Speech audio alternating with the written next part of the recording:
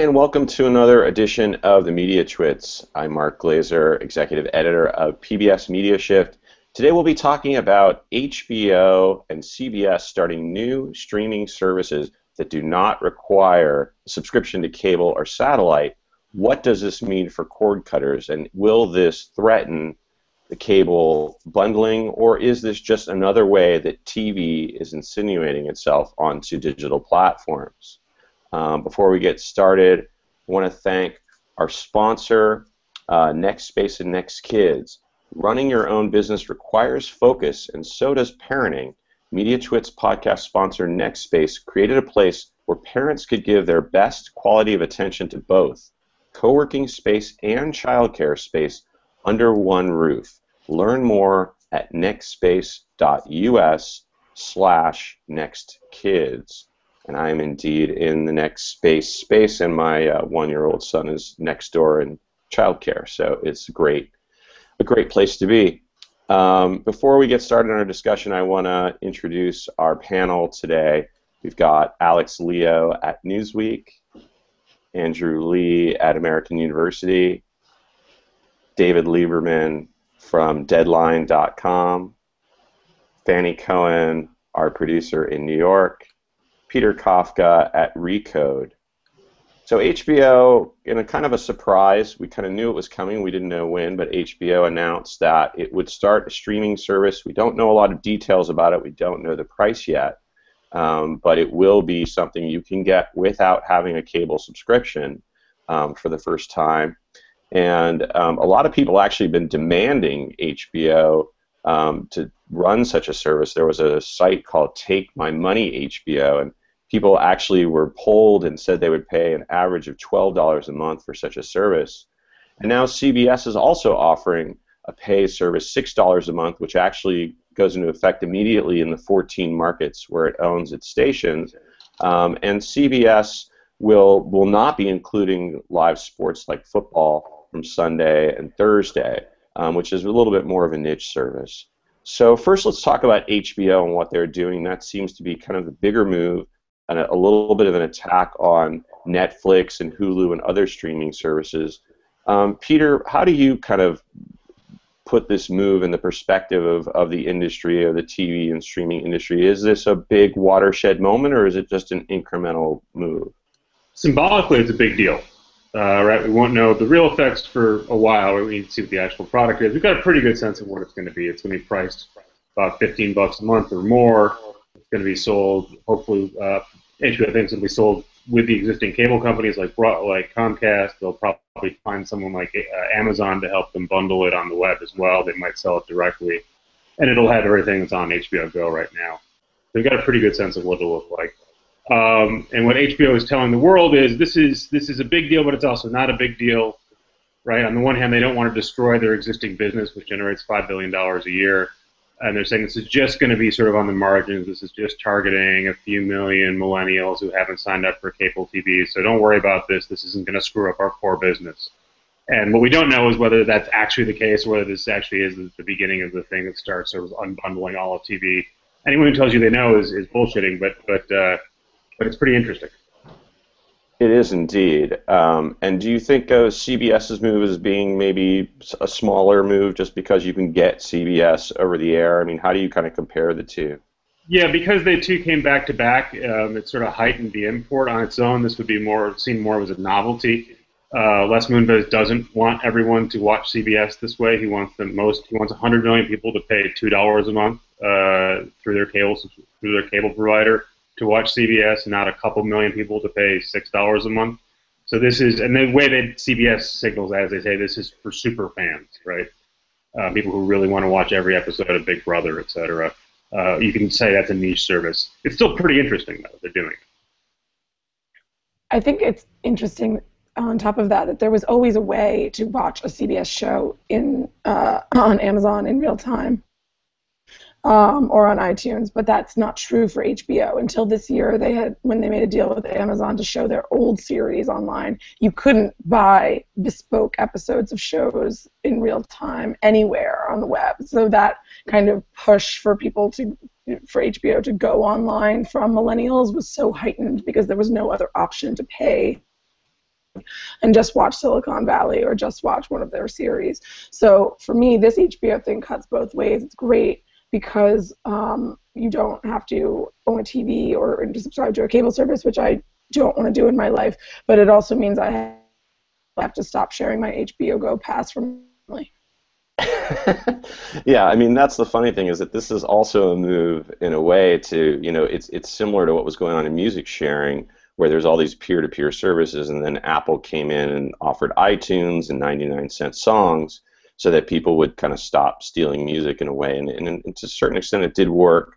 Um, David, what do you see as kind of the potential here? Was uh, you know you kind of downplayed there was a lot of talk about this you know really completely changing the way that you know cable bundles worked and a la carte is here to stay and this is just going to be the best ever and you really knocked that down why, why were you throwing cold water on all of our celebrations i think the last thing that time warner wants is for anyone to cut the cord because in, in addition to hbo which isn't a nice profit center for them they also have their turner networks and that's an even bigger profit center for them and last week they went in front of wall street and they said look all the way through 2018. The profits here are going to grow at double-digit rates per year. Uh, the biggest source of that is going to be the fees that they get from cable and satellite companies. So, sure, maybe uh, HBO can find a way to uh, uh, help itself by uh, helping people cut the cord, but it would be terrible for Turner. And now you've been up since what, three in the morning for this Comcast live blog for their earnings, and they kind of came out and said, "Oh, you know, this is really interesting. What's going on with HBO and CBS, um, but they didn't seem to be very worried about it at all. Yeah, well, I'm in New York, so it wasn't that bad. Okay. Uh, well, uh, yeah, no, uh, it, that's Comcast View too, which is that it's it's a hedge. It's not they're not trying to destroy the ecosystem, uh, and Time Warner was pretty clear about this last week as well. Uh, they're, they're targeting the 10 million people who get broadband but not pay TV, and you know likely what we're going to see is uh, something like what they're doing with Comcast now, which is you buy the uh, cable from, uh, you buy the broadband from Comcast, you get some level of um, uh, broadcast channels, then you can get HBO. Yeah, now Alex, we know you're ready to sign up for HBO on its own streaming service. Andrew, what do you, how do you feel about? I mean, how many people do you think they have the potential to get, especially if they are going to charge fifteen dollars plus, like like Peter's saying? I mean, would you get it at you know what rate would you want to get it at and how do you what do you think the tipping point is where they really will bring in a lot of people well i think as david pointed out i mean because the msos are not freaking out this is probably not as big as a move as a lot of the tech outlets seem to think it is right so um, we're only seeing maybe 10% of the picture right now there really are no details yet on what hbo is going to do like can you subscribe a la carte to hbo if you are not a broadband subscriber to Comcast or Time Warner or to Verizon. Maybe not. We don't know yet. So it might be tied to you still must be a corded broadband subscriber. You just can't buy HBO a la carte. And then there's also the question of so let's say you do pay, and most people are thinking around 15 bucks a month for this so-called a la carte HBO. Can you watch the shows um, as they air, right? Can you watch Boardwalk Empire the exact same time it's airing on the cable channel? Maybe not. Maybe they'll say next day. Um, or is it going to be as good or not as good as HBO Go? There are a lot of unknowns there. Um, and I think the, the CBS offering is particularly uh, disappointing because you don't get the sports content, right? So it's kind of like CBS minus some significant things that most people would expect on CBS. So it might appeal to the real diehard fans of NCIS and The Good Wife who you know say, hey, you know, it's worth six bucks a month for the shows I really like, and I'm traveling anywhere and I can watch it from anywhere. But it really doesn't seem to be the revolutionary thing that has finally exploded the bundles so that we can get anything we want a la carte anytime. Peter, you look like you wanted to jump in and say and add something. Just, I mean, we should. Sorry, we should just be clear. I mean, we, we do know it's it's going to be you'll you'll be able to watch regular HBO, you'll be able to watch Game of Thrones when it airs. That's the point of the product. It's not going to. There was a thought that it might be sort of a crippled product, and that's how HBO might want to thread the needle. But uh, HBO has been quite clear, if not explicit, on, and on the record, that it's going to be the real HBO Go product. You'll be able to watch this stuff, um, and you will be able to get it from someone other than a, a broadband provider. We don't know who. Um, you can sort of imagine lots of likely suspects. Uh, we don't know whether you'll be able to sign up at HBO directly, but I don't think it really matters to most people. The point is you'll be able to get this stuff um, and it is designed to, to, to be one of the reasons we know that you'll be able to get it without having to get a, a Comcast TV subscription is because that's what one of the things that HBO wants here, right? They want leverage um, to do other deals with with Comcast. They want to have they want to be able to go to Comcast and say, look, we are going to sell this product elsewhere, which is one of the reasons you should sell it with us. Because um, if you listen to the call today, there was a lot of sort of signaling from Comcast of their displeasure about this announcement. So there's going to be some sort of negotiations, uh, both public and, and, and, private, about how this works. Uh, by the way, the cable guys really are surprised by this. They they thought because in part because Time Warner had been saying for several years they wouldn't do this. Um, you can go find lots of quotes from Time Warner and HBO executives explaining why this was not a good idea um, up until really this fall. Um, so they are surprised by it, and so now there's going to be a discussion on sort of how they're going to work with HBO over this. So this, you know, this isn't the end of TV as we know it, but it's certainly a, an important move, and, and it's one that caught the, a lot of the industry by surprise, and I think that's one of the reasons. Um, you know, you're not going to see Comcast saying out loud what they think about this one way or the other uh, but they're certainly scratching their heads right now. Peter, are there any indications of the pricing or what, what they've decided yet? No, they haven't announced pricing, but but I um, you know you, there was a Wall Street Journal article up within an hour or so of the announcement saying the pricing would be you know at a minimum the same as the cable TV pricing, which makes sense, right? They can't undercut their existing product. Right. And put it put this in context a little bit because Time Warner you know had there was a takeover bid from Fox, and Time Warner has now is not a cable company anymore. It is a pure, um, you know, content company. So is this and and Time Warner is now trying to prove that they can increase revenues and really make it on their own and not have to kind of sidle up with uh, Rupert Murdoch. Is this one of those moves to say, look, we can bring in more revenue, we can be a player on our own? Yes, exactly. So if you're watching a Game of Thrones or True Detective 2, um, and you're getting it through their a la carte service, you can thank Rupert Murdoch for that because he's definitely an impetus for this for this project. Oh, what were you going to say, Alex? You're going to jump in. You know, I think that one issue here that we haven't covered yet is the demographics behind things. So HBO there's a huge HBO base that only watches movies on HBO, which I was kind of shocked by as a person that only watches their TV shows. Um, and I can certainly see the millennials that are only watching the TV shows signing up and cutting off that $15 a month service as those TV shows air. So, not continuously paying $15 a month year round. Um, with CBS, it seems like a, a completely different uh, demo issue to me because I don't know anyone who watches NCIS of my generation. I, I, have no idea if that's accurate, but um, I can't imagine the mothers who love Mark Harmon um, signing up for this service as a bespoke issue to get rid of their CBS watching. I mean, if that if that were part of it, if they really thought that was part of the business model, that would affect their whole ecosystem. Because as you know, the primetime scheduling also affects the morning news scheduling. I mean, they are already in third place with CBS this morning.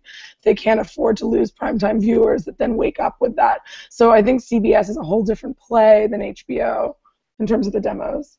But how many of these services can you get? I mean, are you going to get HBO and Netflix and Hulu and Amazon Prime. I mean, eventually, doesn't that add up to a cable bundle? Absolutely. And I think for me, I won't pay for Hulu because it has advertising and you pay for it, and I won't do both. It's one or the other. Um, and I don't know what CBS's plans are there. So if Peter does, or if Andrew does, or David, please jump in. But I'm, you can't. I mean, eventually, this all costs more than the 40 bucks that Comcast charges. I mean, um, Time Warner Cable charges me for cable. David, did you want to jump in on that? Yeah, CBS is going to have advertising. In fact, one of the things they said was that um, it'll be rated. You know, this isn't one of those things online where Nielsen can't find the, the, viewers. They will be able to find them. And I think the demographic point is a good one also. The uh, average age of a CBS viewer is something like 57, 58, and this is clearly a service for 18 to 34 year olds. Right, and I guess they won't have ads, I think, for shows aren't on the air anymore. I think they're older shows. They aren't going to have ads, but the newer ones they will. But they said 25% less than what they do on the air or something like that. But I, I, it all feels a little bit experimental to me. Like there's they're trying some things out, throwing things on the wall, see what happens. And I mean that's the one thing we really haven't seen among the broadcasters is a whole lot of experimentation. It feels like they are in search of something and they're not quite sure what it is. I, I think that's fair. You know, but six dollars is a pretty high price to pay for CBS. Yeah, so that, to be clear, I mean, again, like there's a reason that it's priced that high. There's a couple reasons, right? One, they're they're getting two dollars a subscriber on on uh, on cable already, whether you like it or not. If you're paying for cable, you're paying them two bucks a month. And so, if they can get anyone to sign up at six dollars a month, that helps them uh, position the two dollars as a good deal. They're going to ask for three eventually. Uh, and again, like they look at this as ancillary revenue. So, I, you know, one of the things that they were saying, I think they said it publicly, is you know they used to sell a Big Brother All Access package online. So people who really liked Big Brother and wanted to watch this thing 24/7 could pay them additional money and watch it. And they're going to fold that into this service. So if you're a hardcore Big Brother fan, and apparently they exist, you'll sign up. Um, if you're someone who really likes The Good Wife and you don't want to pay for it individually, you don't want to watch it on CBS or you're, you're buying it on iTunes, then maybe the math works out well for you here not quite sure. I think it's two bucks of an episode on, on iTunes. So yeah, you're saving you're saving two dollars a month there. You know, you find a handful of people here and there who sign up for it. Um, the other way they position it is uh, Hulu's eight is eight bucks a month. That gets you six channels plus, but they have you know, but this they're going to argue this is comparable or whatever, uh, and it's going to be six dollars a month. And so you, you know, there's they think there's some pockets of people who, who will sign up for this. They don't think Alex is going to sign up for it. They don't think most of us are going to sign up for it, but but you know, again, Hulu's got six million subscribers for their package. They think this is comparable. Yeah, and you did a little bit of math on, you know, what if I think you said a third of Hulu subscribers signed up for this, they could bring in 144 million a year, which isn't, you know, which isn't nothing.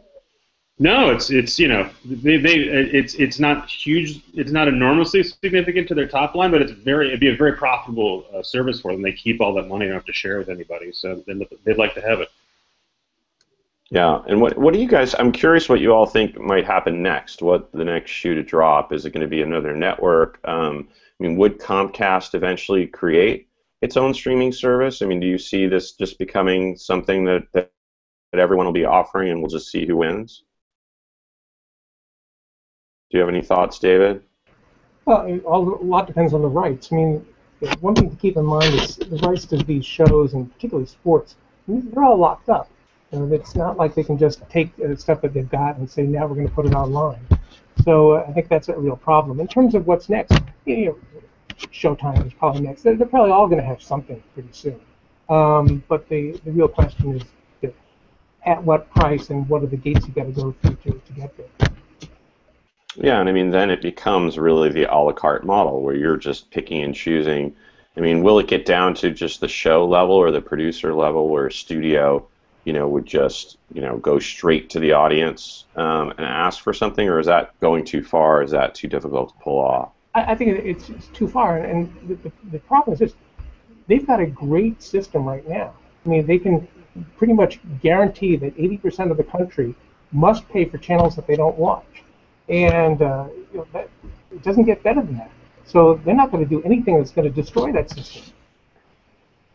Andrew, yeah, did you have any thoughts? Yeah, I was wondering from, from Peter and David. I mean, it seems like sports programming is kind of like the thousand pound weight that is keeping the system in place, right? That is basically keeping these bundles there. It is definitely against the grain of what a lot of people want in terms of seeing what you want when you want it. I mean, sports programming, at least like college football and everything, is still very much appointment viewing, where you have to kind of watch it when it airs. And as long as the cable channel is kind of a lock on that, they're going to still have a dominant position in, in selling those bundles the way they have now. Right. Yeah, the, the NFL is, is they're really, really good about making these deals. And they don't say to, to these guys, okay, you can put it online if you feel like it. They've got those rights locked up.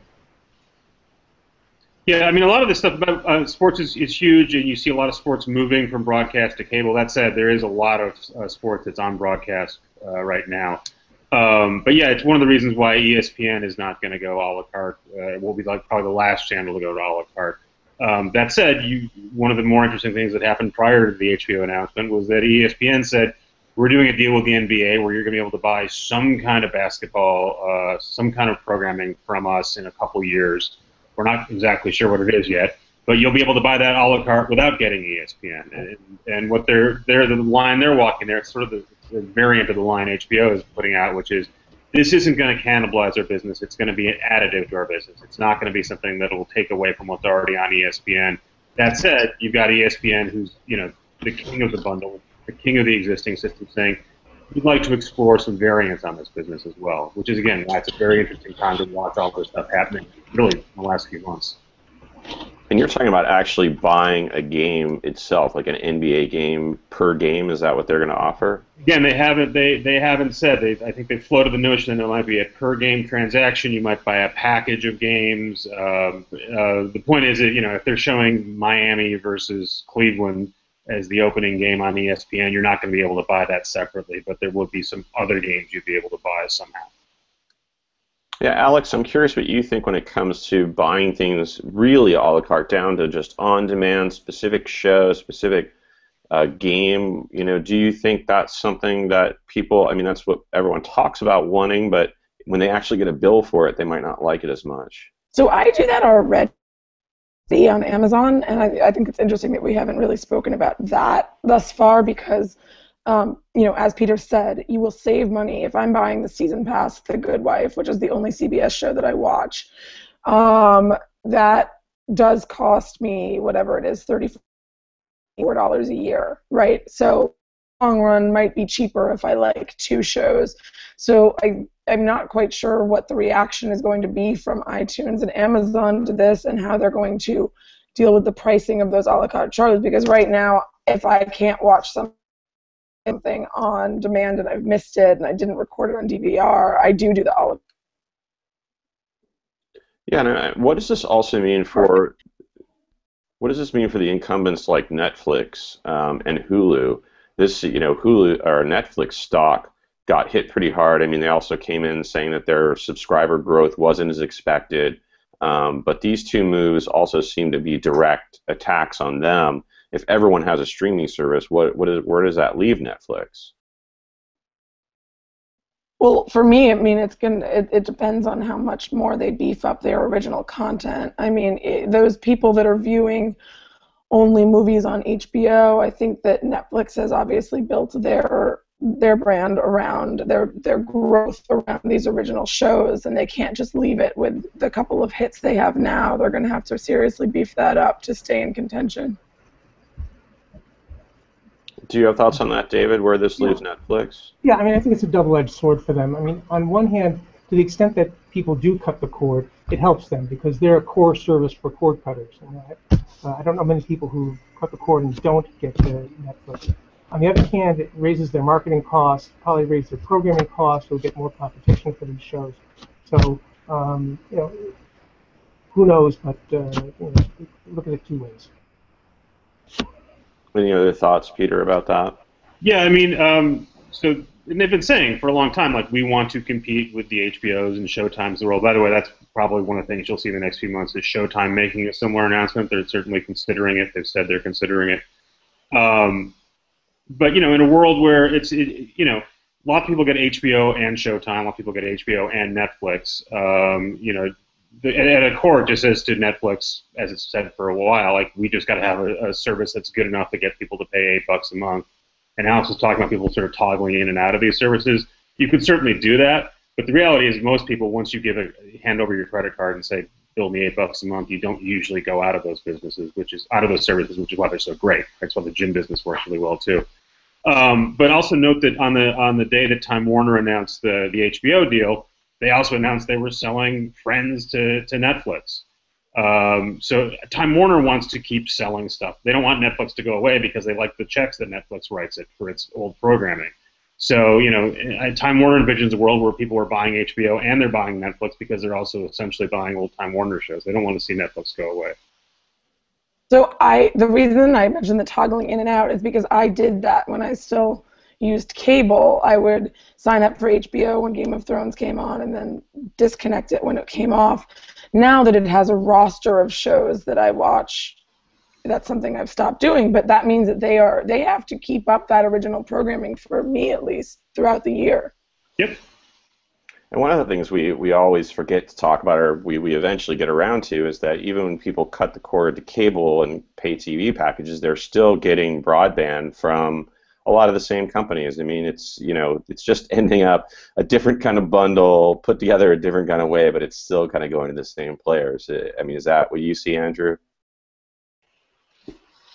Yeah, I think so. I mean, you know, m- most of these folks that you're signing up with, like Verizon, and you know, if you just say, "I just want data," I mean, they're they're they're leaning on you really hard to get the video for free. I mean, they said, "Just let us hand you the video stuff. Just just watch this, so we can tell these other folks that we have this many people, you know, subscribing to the video packages." Um, so it is interesting what, what Alex talked about. I mean, we're we're basically seeing a case that we're we're paying for the same product several times over, whether it's through your cable subscription or through Netflix or through Amazon Prime. Um, and you know, I, I, I felt a little bit bad for Nets for Netflix, but then as Peter said, if they've got friends, then I feel better. But for a little while there, it was Amazon Prime got the HBO library, which has been a treasure trove for Amazon.